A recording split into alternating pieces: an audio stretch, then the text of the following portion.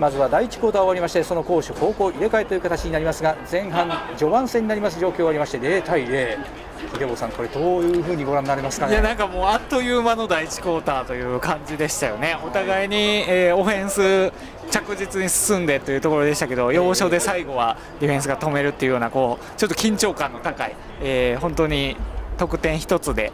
えー、チームの状況が変わるんじゃないかというような、はい、えー、前半入りかなと思うのでまず先制どちらが取るのかというのはちょっと注目ですね。そうですね。その意味では得点機を逸しておりました磯野が今攻撃に手をその次の2点目となりますシリーズを進め進めているところです。ボールオンは事前に49ヤードから試合再開となります。磯野スーパースターズファーストダウン。10さあプレッシャー。ディフェンス上がってきたがか。わしまして左オープンにスクランブル。クォーターバック18番プレッシャーを浴びながらも左オープンに展開しましてこのプレーで約4ヤードのゲインを果たしました。見事な判断をしてスクランブル決めましたのは磯野スーパースターズ18番の田中。岐阜大学出身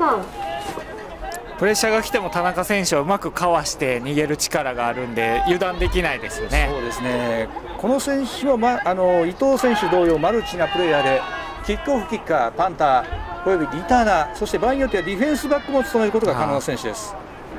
お互いのクォーターバックがマルチプレーヤーというのはなかなか面白いですね。そうですねさあ今度はランニングバックに渡して右オープン展開していく。はいさあ行くナイランニバック25番見事なステップワークで右オープンを展開しまして攻撃権更新です。磯野スーパースターズファースター。宮部裕二選手の今ブロッキングもね良かったですね。今のはそうですね外中に上がると見せかけて外へ行くという本当に心にくいステップワークを取り取って見事攻撃権更新を果たしました。現在フィールド上には負傷者が発生しておりましてレフェリータイムアウトが入っております先ほどのプレーで13ヤード減しファーストを獲得。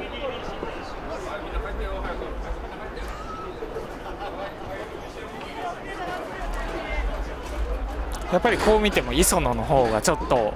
オフェンスを押してるような感じですよね。そうですね。かなり状況を有利に進めているなというふうな印象も受けます、はい、特にランプレーでしっかり進めているというのは今後の展開を考えてもなかなかいい形で入れてますよね。そうですねこの試合をライブ配信でお伝えできるのが非常に嬉しい。残念ながらネット回線は現状でも回復しておりませんので誠に恐縮ですがこれは後ほど録画配信させていただきます。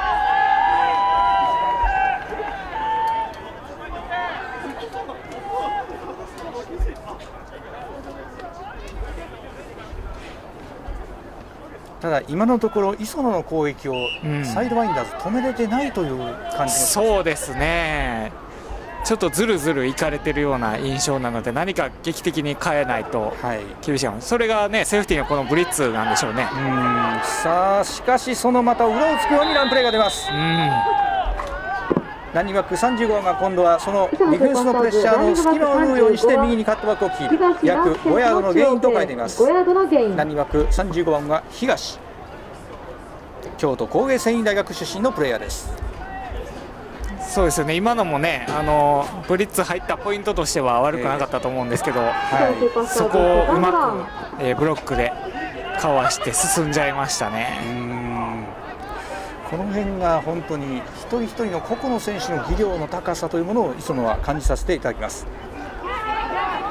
さあパスだがこのパス取ります。うまいですね今のもね。はいタイトエンド86番がキャッチしました。タックル受けましたがその体を生かして攻撃権更新を果たしています。磯野スーパーサーズファースタークォーターバック18番ターゲット86番が神田姫路工業大学出身です。実はこの神田選手は私が学生時代にありました姫路独協大学と同じディビジョンでして。あそうなんですチームはクロスタウンライバルとしていつも切磋琢磨していたチームです、世代は若干ずれておりますがあの非常に近しいものを感じる選手でもあります。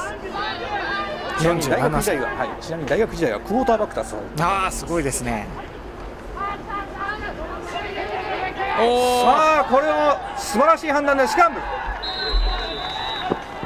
プレーとしては外へのヒッチパスを投げようとしているアクションでしたが急遽スクラムしまして9ヤードのゲインにしました。クォーターバック田中。いや判断早いですね。この判断は見事ですね。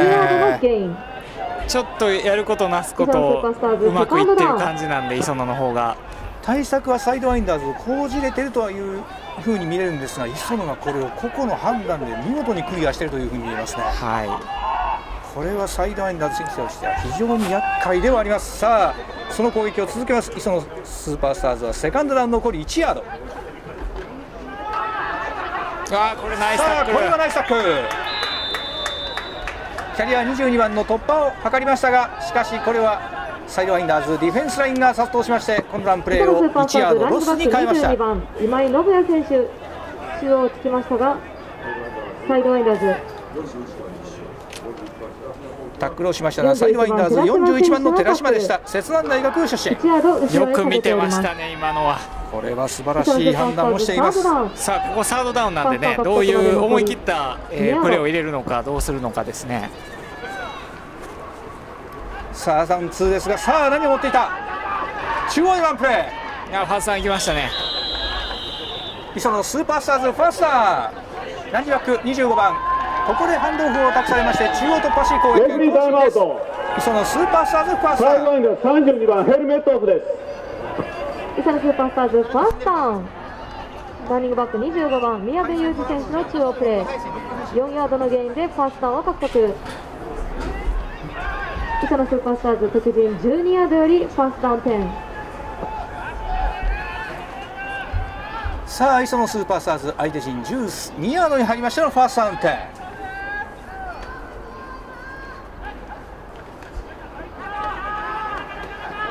さあ再びランプ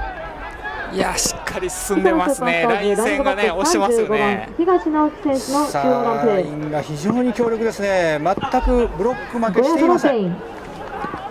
結果的にランプレーが順調に出ております。またディフェンスが策を講じているんですがこの裏を見事についているという感がします。結果このランプレーも5ヤードのゲインとなっています。さあ先ほどはここからねあの止まりましたからここ一つ大きなポイントですね。前半の山ですよね、ここを今度は突破できるでしょうか？あるいは再び防ぐことができるでしょうか？サイドワインダーズ。入りましたね。うんここでスリップ。ナジバック22番ハンドオフを受けましたがこの時にカットインする際にスリップしました。しかし約うん約3ヤードほど3ヤード2ヤードのゲインとなっていますここのサードダウンはパスで来ますかね。微妙な距離ですよね。ね。相手陣5ヤード。奥行きはほとんどありませんのでその判断も難しいところではありますが攻撃権更新残り距離3ヤードです。サードダウン3ボールは相手陣5ヤード。まあ、こういうなってくると田中選手が走れるというのもねちょっとポイントになってきそうですけど。ね。あさあ中央いったがゴール前直前で止まりました。しかしこのランプレーにより攻撃権は更新となります。磯野スーパースターズファースター。ここで託されましたのはランニングバックの25宮部でした。エースランニングバックが見事攻撃権更新を果たしまして磯野スーパースターズファーストダウンとなります。タッチダウンには至っておりません。ファーストを獲得。真ん中強いですね。磯野スーパースターズファーストダウンというゴール残りインチファーストダウン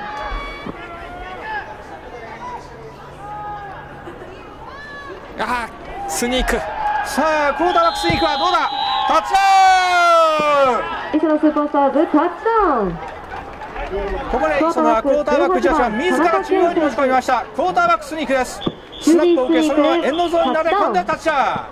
ウン。レフリータイムアウト。負傷者のためのレフリータイムアウト。ですここで負傷者が発生したためレフリータイムアウトが取れますしかし先ほどのプレーは成立しました。磯野スーパースターズ6点獲得です。このタッチダウン大きいですね。これは大きいですね、まあ、特にやっぱり真ん中のライン線がかなり押してるっていうのは、えー、それでねしっかり取り切ったような感じなんで、はい、なかなかサイドワインダーズ止め今後また止めにくいんじゃないかなと思いますね。ランプレーが終始出ているという状況でそのまま押し切ってしまったという展開ですね。はいまあ、この次のキックもねこういう試合展開だと、えー、明暗を分ける可能性があるので、はい、目が離せないですね。そうですね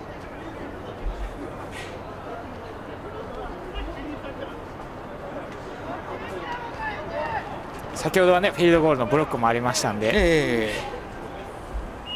ー、そういう意味で言いますとここのトライフォーポイントも少し気になるシーンではあります。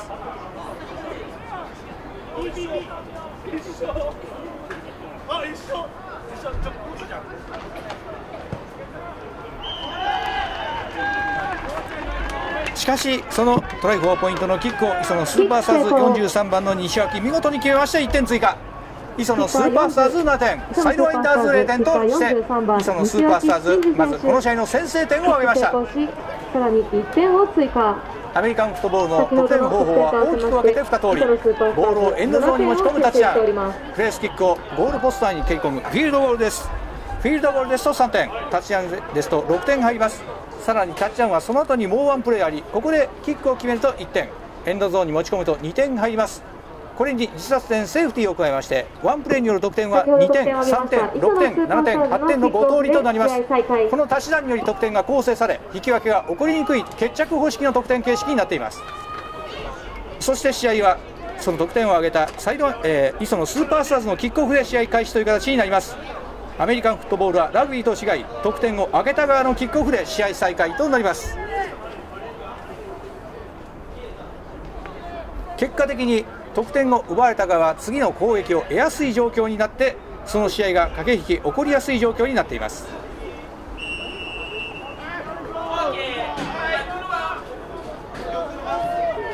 磯のスーパースターズキックオフキッカーは1番の箕浦が務めます。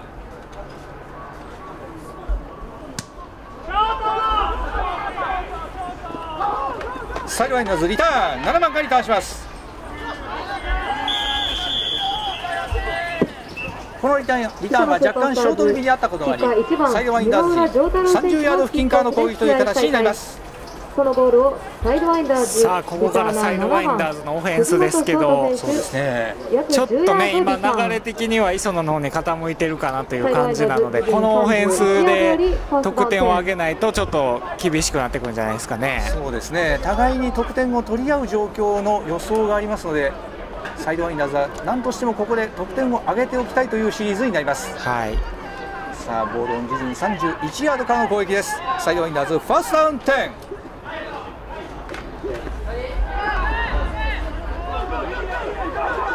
さあまずパスプレーです。クォーターバック19番ワイドレシーバー6番にパスを通しまして約7ヤードのゲインとしています。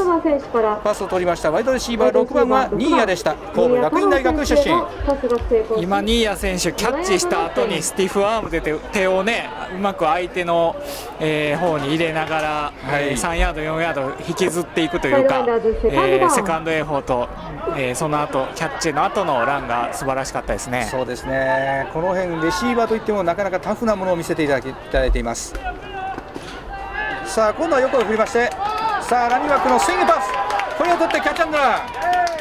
ナイスファースタークォーターバック19番今度はランニングバック7番へのスイングパス。左に大きく展開したランニングバック7番にパスを取ってパス通してキャッチアンドランで攻撃権更新です。サイドライナズファースター7番は藤本選手神戸学院大学出身です。今のもねスクリーンっぽい形でねサイドに投げてでしたけど紙一重でしたね今。もうちょっとでボールをはたかれてたかもしれなかったんでそこをうまく通しましたね。そうですね。ディフェンスもこの辺のところは指しているのかプレッシャーがあります。しかしそれをかいくぐりサイドワインダーズ相手陣44ヤードからのファーストダウン。テさあプレッシャーきました。うまくかわしてさあスクランブルに転じました。クォーターバック19番のサイドワインダーズクォーターバック19番、伊藤がプレッシャーをかわして約1ヤードのゲインと変えています。自らボールを持ちスクランブル。伊藤は東京大学出身のクォーターバックです。サイドワインダーズセカンドダウン。サイドワインダーズ相手陣38ヤードからセカンドダウン9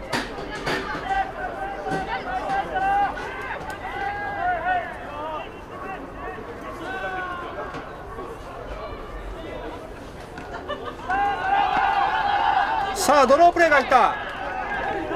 パスに見せかけたランプレーで中央突破を図らんとしましたがキャリア7番のランプレーをしかしそのスーパースターズディフェンス陣に殺到しラン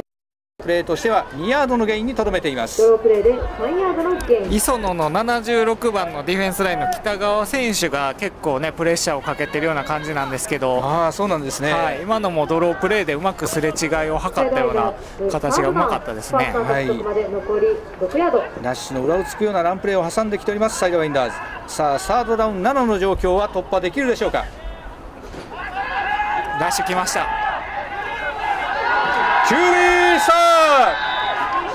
クォーターバック19番がパスを投じようとしましたがこれを磯のスーパースターズ59番がキュービースターパスを投じる前に仕留めました。自らボールを持ち中央をつきましたが磯のスーパースターズ。磯の59番は中川選手です。金沢大学出身のルーキー。磯のスーパースターズいや今のもねブリッツ含めてプレッシャーがしっかり効きましたね。そうですね。ここ一番というところで磯野のプレッシャーが届いたというワンシーンでした。さあここフェイクはないか。パントでした。ノーマルにパントを蹴りましたがさあこのパントどの位置で止まるとリターンを試みます。これはなかなかタフなリターンを敢行しました三田が84番そのままですとエンドゾーン奥深くに押し込まれると判断しここで果敢にもリターンしました。結果的に磯野は自陣15ヤード付近からの攻撃という形に変わります。ただね、もう早くも、えー、前半が残り2分40秒になってきたので、はい、先ほどとは変わってね、ランプレーをベースにした形ではなくなるかもしれないですね。残り時間は2分40秒前半時間となっています。さあここでどのような選択を磯野は展開していこうとするでしょうか。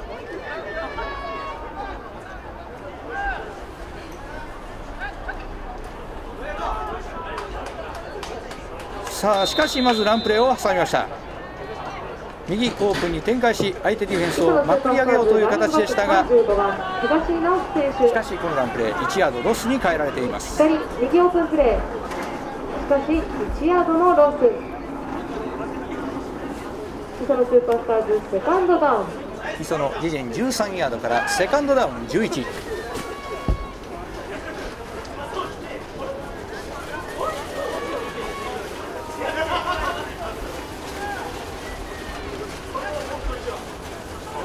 おパスですね。さあロングパスいった。パス不成功インコンプリートパスは成功ここでクォーターバック18番ロングパスの選択でした。ターゲットは84番。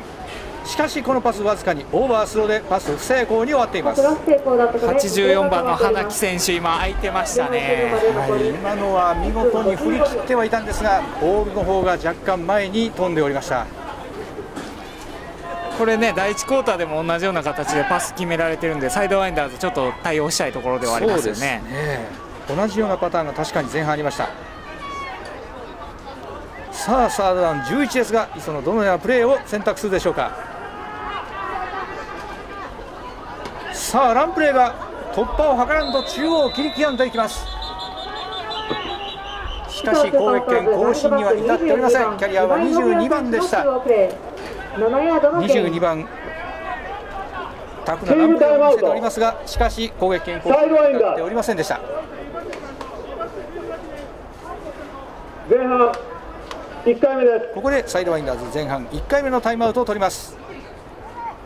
ここでサイドワインダーズ前半まあ裏をかいたような形でランでいきましたけどさすがにファーストダウンまでいかなかったですね、はい、タイムアウトを要求することができます、えー、すみませんキャリアの22番の選手の名前がちょっと分かりませんでしたのでもしご存知であえー、今井選手今井信也選手金沢大学出身の、はい。えー、171センチ71キロの、えー、選手ですね。あありがとうございます、はい地域的に確かに北陸学生の選手も多く参見するような感はあります。さあ磯野このタイムアウトを明けましてフォースの3パントフォーメーションを選択しました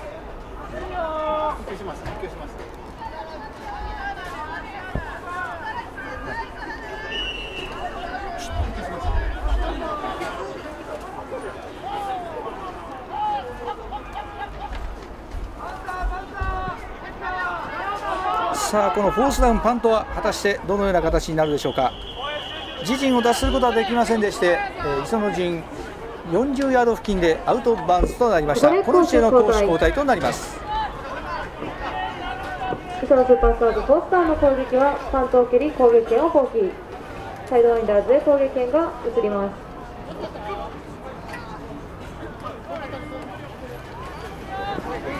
サイドワインダーズ敵陣41ヤードよりファーストダウン10前半終了まで残り1分36秒。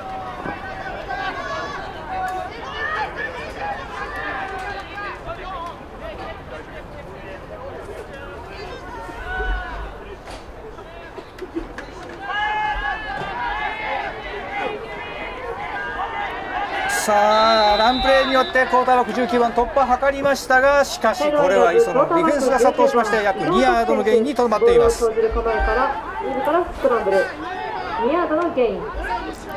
なかなかディフェンスラインのプレッシャーが激しいので苦労してますよね。はい。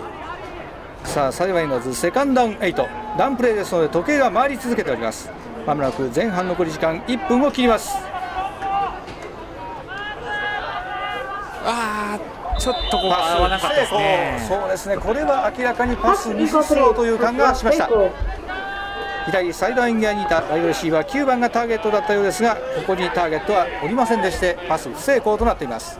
ダウンを1つ失ってサードダウンに変わります。ファースト獲得まで残り8ヤード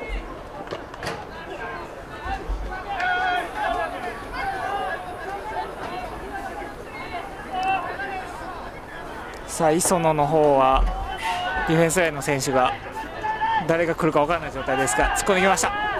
さあプレッシャー来る。伊藤投げられるか。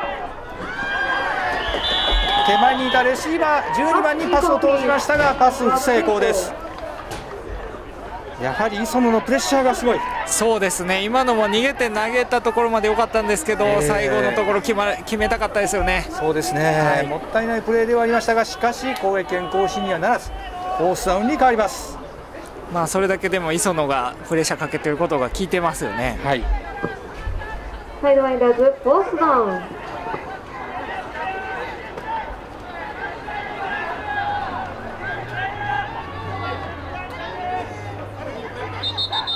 ここでホイッスル。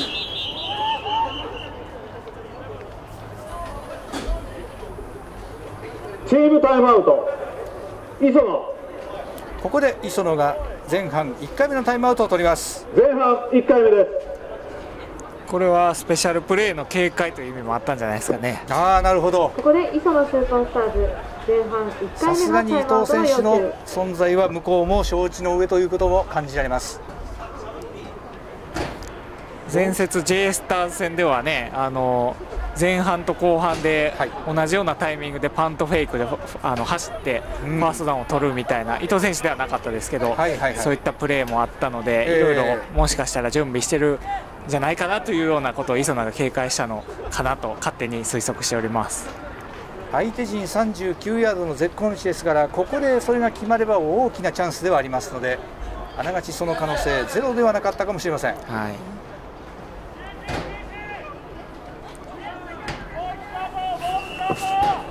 タイムアウト解けましてさあタイムアウト解けましてサイドワインダーズフォースダウンとなりますがさあここで再びホイッスルが鳴ります。チームタイムアウト。サイドワインダーズ。ここでサイドワインダーズもタイムアウトを取ります。前半2回目です。前半2回のタイムアウトを取りましたここでサイドワインダーズ前半ここねどういうタイムアウトだったんでしょうね。今多分もう残り前半が48秒ということもあってどういうふうにどこに蹴っていくのかみたいな確認だったんですかね。そうかもしれませんね。前半終了まで残り48秒さあ気になる双方のタイムアウトを解けた後ですがここで若干選手を変えたということはオフェンスですか？プレーを選択するようですね。そういう確認だったんですねこれは。さあフォースダウンギャンブルという選択になりました。さあ残り時間がね、はい、残り時間が少ないのでチャレンジしようということですね。はい